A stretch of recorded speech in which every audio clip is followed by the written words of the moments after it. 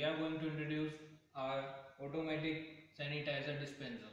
This dispenser is used to dispense sanitizer automatically and works with the sensor sensing the any manual or hand is present in beneath the machine and it will be automatically dispense sanitizer to anyone whose hand is present inside the machine.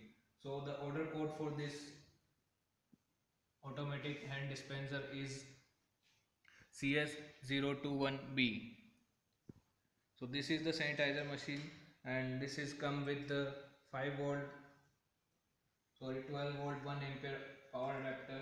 The power adapter will be easily connected to any of the 20 volt DC oh sorry AC power supply.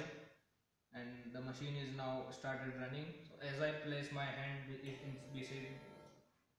beneath this machine the sanitizer is dispensed on my hands and my hands can be easily cleaned.